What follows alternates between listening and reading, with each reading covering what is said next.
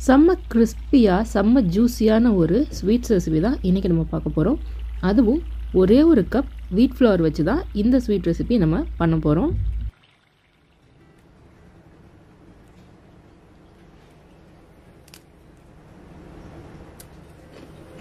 வீடியோவில் நிறைய tips and ட்ரிக்ஸோட இந்த ரெசிபியை நான் ஷேர் பண்ணியிருக்கேன். ஸோ வீடியோவை ஸ்கிப் பண்ணாமல் ஃபுல்லாக பாருங்கள் வெல்கம் டு ஃப்ளேவர் ஸ்டுடியோ நான் சாரா. வாங்க இப்போ இந்த வீட் ஃப்ளோர் ஸ்வீட்ஸ் எப்படி செய்கிறதுன்னு பார்க்கலாம். முதல்ல ஈரமில்லாத ஒரு மிக்சி ஜார் எடுத்துக்கோங்க. அதில் ஒரு மேஜை கரண்டி அளவு ஒயிட் சுகர் நம்ம வந்து சேர்த்துக்கலாம். கூடவே இதில் நாலு ஏலக்காய் நான் சேர்த்துருக்கேன். அப்புறமா இதில் ஒரு மேஜை கரண்டி அளவு பெருஞ்சீரகம் அதாவது சோம்பு வந்து நான் சேர்த்துருக்கேன்.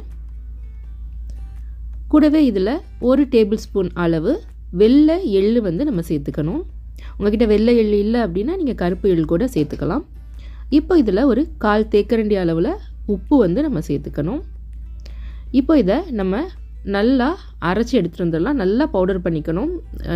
எந்த ஒரு நெரு நெருப்பு தன்மை இல்லாமல் நல்லா மாவு போல் நீங்கள் அரைச்சி எடுத்துகிட்டு வந்துடுங்க இப்போது ஒரு மிக்சிங் பவுல் எடுத்துகிட்டு அதில் ஒன்றரை கப் அளவில் கோதுமை மாவு நம்ம சேர்த்துக்கலாம். கூடவே நம்ம வந்து இப்போ அரைச்சி எடுத்தோம் இல்லையா? சுகர் கூட எள் ஏலக்காய் எல்லாம் சேர்த்த கலவை அதையும் நம்ம சேர்த்துக்கணும். இப்போ இதில் ஒரு டீஸ்பூன் அளவு பேக்கிங் சோடா நான் சேர்த்துருக்கேன். இப்போ இதில் ஒரு முட்டையோட மஞ்சள் கருவை மட்டும் நம்ம தனியாக எடுத்து சேர்த்துக்கணும். கூடவே ஒரு மேஜை கரண்டி அளவில் ஒயிட் வினிகர் நான் சேர்த்துக்கிறேன். முட்டை சாப்பிடாதவங்களும் வினிகர் வீட்டில் இல்லாதவங்களும் என்ன பண்ணலாம் அப்படின்னா ரெண்டு மேஜை கரண்டி அளவு தயிர் சேர்த்து அதை சப்ஸ்டியூட் பண்ணிக்கலாம். இப்போது ஒன்றரை கப் அளவில் பால் நான் எடுத்து வச்சுருக்கேன். இதை வந்து நம்ம கொஞ்சம் கொஞ்சமாக சேர்த்து மாவை நம்மளுக்கு தேவைப்படுற கன்சிஸ்டன்சியில் கரைச்சி எடுத்துக்க போகிறோம் பால் வந்து சூடாக இருக்கக்கூடாது. நல்லா ஆற வச்ச பாலாக யூஸ் பண்ணிக்கோங்க.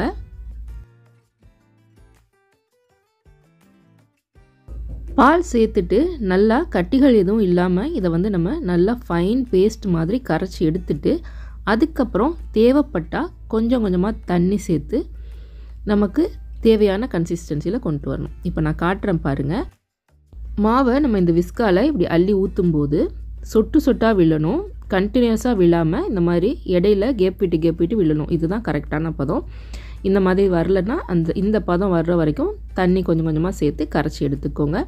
அதே மாதிரி மாவு கரைக்கும் போது சில நேரம் பிகினர்ஸ்க்கு கட்டி தட்டுறதுக்கான வாய்ப்புகள் அதிகம் இருக்குது அப்படி மாவு கட்டி தட்டிடுச்சுன்னா ஒன்றும் பிரச்சனை இல்லை. அப்படியே அந்த மாவை மிக்சி ஜாரில் சேர்த்துட்டு நல்லா ஒரு ரெண்டு சுற்று சுற்றி எடுத்திங்கன்னா அந்த கட்டிகளெல்லாம் இல்லாமல் போயிடும் அப்படி இல்லைன்னா ஒரு சல்லடையோ அல்லது வடிகட்டியோ வச்சு நல்லா அதை வடித்து எடுத்துட்டிங்கனாலும் அந்த கட்டிகள்லேருந்து நீங்கள் ரிமூவ் பண்ணி எடுத்துக்க முடியும். இப்போது இந்த ஸ்வீட்ஸுக்கான சர்க்கரை பாகு நம்ம ரெடி பண்ணி எடுத்துக்கலாம். சர்க்கரை பாகு வந்து ஆப்ஷனல் தான். நீங்கள் சர்க்கரை பாகு சேர்க்காமலே கூட இந்த ஸ்வீட்ஸ் வந்து செஞ்சு சாப்பிட முடியும். இப்போது ஒரு கடாயை நான் காய வச்சுட்டு அதில் ஒரு கப் அளவு சர்க்கரை சேர்த்துருக்கேன். அடுப்பு வந்து லோ மீடியம் ஹீட்டில் இருக்க மாதிரி பார்த்துக்கோங்க. இப்போது இந்த சர்க்கரை மூழ்கிற அளவுக்கு நம்ம தண்ணி சேர்த்துக்கலாம். நான் இன்றைக்கி இந்த சர்க்கரையை வந்து நல்லா கேரமலைஸ் பண்ணிவிட்டு கோல்டன் ப்ரௌன் கலர் ஆற வரைக்கும் வச்சு எடுத்துக்க போகிறேன் நல்ல ஒரு கலர் கிடைக்கும் அதுக்காக. அப்படி உங்களுக்கு அந்த மாதிரி கலர் வேணான்னு நினச்சிங்கன்னா நார்மலாக நம்ம சர்க்கரை பாகு காய்ச்சிற மாதிரி ஒரு கம்பி பதம் வர விட்டு நீங்கள் அடுப்பை ஆஃப் பண்ணிவிட்டு இறக்கிக்கலாம். இப்போது இந்த சர்க்கரை பாகு கொதிச்சிட்டு இருக்கும்போதே அதில் நான் ஒரு நாலஞ்சு சொட்டு எலுமிச்சை சாறு விட்டுட்டு ஒரு சின்ன துண்டு எலுமிச்சை பழத்தோட தோலையும் சேர்த்துருக்கேன். ஒரு நல்ல ஃப்ளேவர் தர்றதுக்காக. சுகர் நீங்கள் கேரமலைஸ் பண்ணும்போது கரண்டியால் மிக்ஸ் பண்ணி விட வேண்டிய அவசியம் இருக்காது. இந்த மாதிரி ஒரு எவ்ரி ஃபியூ செகண்ட்ஸ் வந்து அந்த பாத்திரத்தை எடுத்து லைட்டாக அலசி விட்டு வச்சிங்கன்னாவே போதும். கலர் சேஞ்ச் ஆக ஆரம்பித்ததுக்கப்புறமா நான் இதில் கொஞ்சமாக ஒரு மூணு டேபிள் ஸ்பூன் அளவு தண்ணி சேர்த்துருக்கேன். தண்ணி சேர்க்கும்போது பயங்கரமாக வெடிக்கும். கொஞ்சம் கவனமாக தண்ணி சேர்த்து கலந்து விட்டுட்டு அடுப்பை ஆஃப் பண்ணிவிட்டு நம்ம இறக்கி வச்சிடலாம். பாருங்கள் இந்த அளவுக்கு கம்பி பதமாக இருந்தால் நமக்கு போதுமானது.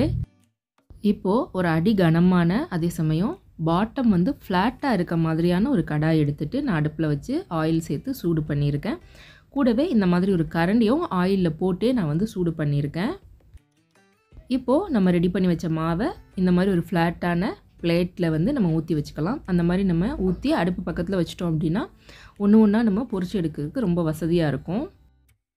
கூடவே இந்த மாதிரி கிச்சன் டவல் அப்படி இல்லைன்னா சுத்தமான ஈரமில்லாத துணி எடுத்து வச்சுக்கோங்க. நம்மளுக்கு அப்பப்போ இந்த கரண்டியை துடைக்கிறதுக்கு தேவைப்படும். ஸோ இப்போ ஆயில் நல்லா சூடாயிருச்சு. நம்ம ஆயிலில் போட்டு வச்சுருந்த கரண்டியை எடுத்து எண்ணெயை நல்லா வடிச்சிட்டு நம்ம ரெடி பண்ணி வச்சுருக்க மாவில் லைட்டாக இந்த மாதிரி மே அதோட கரண்டியோட அடிப்பக்கத்தை மட்டும் டிப் பண்ணி எடுத்துகிட்டு அதை வந்து நம்ம ஆயிலில் சேர்த்துடணும். ஆயிலில் சேர்த்து கொஞ்ச நேரத்துலேயே கரண்டிலேருந்து அது பிரிஞ்சு வர ஆரம்பிக்கும். அப்படி பிரிஞ்சு வரலன்னா லைட்டாக ஒரு கரண்டியோ அல்லது கத்தியோ வச்சு நம்ம லேசாக நீக்கி விட்டோம்னா அது வந்து அந்த எண்ணெயில் வந்து விழுந்துரும். லைட்டாக ஒரு ஃபியூ செ ஒரு ஃபியூ மினிட்ஸ் தான் ஒரு நிமிஷம் கூட ஆகாது அது பொரியறதுக்கு. ரெண்டு பக்கமும் நல்லா கோல்டன் ப்ரௌன் ஆனதுக்கு அப்புறமா நம்ம எண்ணெயிலேருந்து வடித்து எடுத்துட்டு அந்த சூட்டோடு இருக்கும்போதே ரெடியாக வச்சுருக்க சக்கரை பாகில் அந்த பக்கமும் இந்த பக்கமும் ஒரு பக்கம் டிப் பண்ணி எடுத்துகிட்டு தனியாக எடுத்து வச்சிட வேண்டியது தான் ஆயிலோட சூடு வந்து பார்த்திங்கன்னா எப்போவுமே மீடியம் டு மீடியம் ஹைலேயே இருக்க மாதிரி பார்த்துக்கணும் ரொம்ப கம்மியாக இருந்ததுன்னா சரியாக அந்த மாவு வந்து கரண்டிலேருந்து பிரித்து எடுக்க வராது. அதே போல் ரொம்ப ஹீட்டாக இருந்ததுனாலும் ஆயிலில் அந்த கரண்டியை நம்ம எண்ணெயில் வைக்கும்போது பட்டுன்னு முருக ஆரம்பிச்சிடும் அது என்ன ஆகும்னா நம்மளுக்கு கரண்டிலேயே ஒட்டிக்கிட்டு எடுக்க வராமல் போயிடும் ஸோ வந்து அந்த ஆயிலோட ஹீட்டை வந்து மெயின்டைன் பண்ண வேண்டியது ரொம்பவே அவசியம். முதல்ல யூஸ் பண்ண இல்லையா? அந்த மாதிரி ஷேப்பில் கரண்டி இல்லாதவங்க. இந்த மாதிரி கண்ணு கரண்டி எல்லார் வீட்லேயும் இருக்கும் இல்லையா? அந்த கரண்டியை கூட ஃபுல்லாக ஆயிலில் ஃபுல்லாக ஆயிலில் மூழ்கிற மாதிரி போட்டு கொஞ்சம் நேரம் சூடு பண்ணிவிட்டு அப்புறமா மாவில் டிப் பண்ணி எடுத்து அதே மெத்தடில் பொரிச்சு எடுத்துக்கலாம். ஷேப் மட்டும் கொஞ்சம் ரவுண்டாக வரும். அதே மாதிரி அப்பப்போ நம்ம யூஸ் பண்ணுற கரண்டியை ஒரு டிஷ்யூவோ அல்லது சுத்தமான துணியோ வச்சு அந்த கரண்டியோட பின்பக்கத்தை தொடச்சிக்கிட்டே இருக்கணும். தொடச்சிட்டு லைட்டாக சூடு பண்ணிவிட்டு ஆயிலில் போட்டு அதுக்கப்புறம் மாவில் டிப் பண்ணி எடுத்து நம்ம பொறிக்க வேண்டியதுதான். ரொம்ப சுலபமாக இருக்கும். உங்களுக்கு ஸ்டார்டிங்கில் மேபி ஒரு ரெண்டு மூணு இது அஹ், பொரிக்கும் போது கொஞ்சம் தடுமாற்றம் இருக்க மாதிரி இருக்கும். அந்த எண்ணெயோட அந்த சூடு நம்மளுக்கு மைண்டில் பேலன்ஸ் ஆகுறதுக்கு. ஒன்ஸ் நீங்கள் வந்து கரெக்டாக அடுத்தடுத்து போட ஆரம்பிச்சிட்டிங்க அப்படின்னா ஒரு மூணாவது நாலாவது ஸ்வீட்ஸை வந்து நீங்கள் ஆயிலில் சேர்க்கும் போதே உங்களுக்கு அதோட ஒரு பக்குவம் தெரிய ஆரம்பிச்சிடும் ஸோ வந்து கரெக்டாக நீங்கள் அதை ஃபாலோ பண்ணி பொறிச்சு எடுத்துக்க வேண்டியது தான் கொஞ்சம் டைம் கன்சியூமிங் ஒர்க் தான் இது. இல்லைன்னு நான் சொல்ல மாட்டேன். ஆனால் டேஸ்ட்டு அதோட டேஸ்ட்டுக்கு வந்து நீங்கள் ஸ்பெண்ட் பண்ணுற டைம் வந்து கட்டாயம் ஒர்த்தாக இருக்கும். கண்டிப்பாக நீங்கள் ஒரு தடவை உங்கள் வீட்டில் இதை ட்ரை பண்ணி பாருங்கள் உங்களுக்கு இந்த வீடியோ பிடிச்சிருந்ததுன்னா லைக் பண்ணிவிட்டு நம்ம சேனல் ஃப்ளேவர் ஸ்டுடியோவை சப்ஸ்கிரைப் பண்ண மறக்காதீங்க. இப்போ நான் இந்த ஸ்வீட்ஸை வந்து உடச்சி காட்டுறேன் பாருங்கள் எவ்வளோ கிறிஸ்பியாக இருக்குன்னு.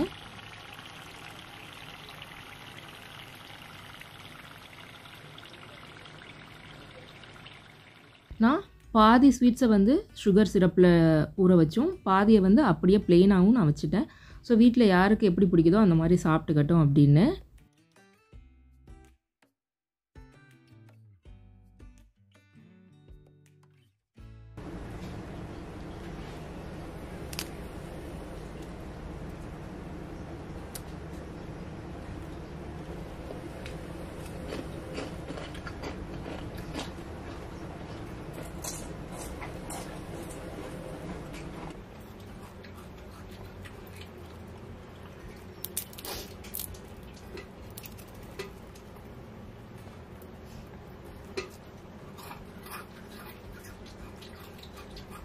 நீங்களும் ஒரு தடவை கட்டாயம் இந்த ரெசிபி உங்கள் வீட்டில் ட்ரை பண்ணி பார்த்துட்டு உங்களோட ஃபீட்பேக்ஸை மறக்காமல் கமெண்ட் செக்ஷனில் என் கூட ஷேர் பண்ணிக்கோங்க. சீக்கிரமே உங்களை நான் இன்னொரு ஈஸியான டேஸ்டியான ரெசிபியோட சந்திக்கிறேன். அது வரைக்கும் take care bye bye thanks for வாட்சிங்